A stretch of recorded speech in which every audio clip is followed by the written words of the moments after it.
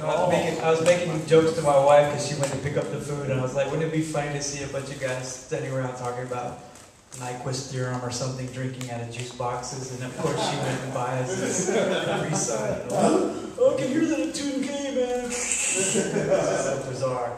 So it looks like an eighth-year-old uh, birthday party over there. So I think uh, the energy of the sugar and the uh, controversial subject matter of the evening should make a very exciting bar map. Thanks for coming tonight. We got John De Fiore.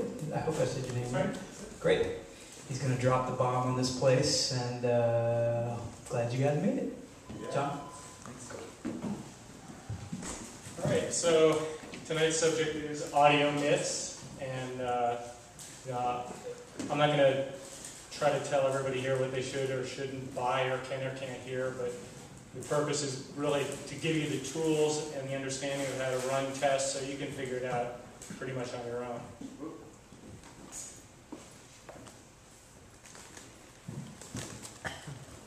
So the agenda is evaluating gear, uh, including cables, um, preamps, you know, those kind of things. Uh, how can you design an experiment to properly evaluate it and not get yourself confused or uh, you know, spend your money in the wrong place? You know, the bottom line is, as musicians and people trying to learn how to record or do a better job recording, what you want to do is spend your money in the right places. You don't want to spend your money on stuff you know, huge amounts of money on stuff that's not going to make any difference or that's going to make a very marginal difference when you could spend the same dollars on something that could make quite a substantial difference.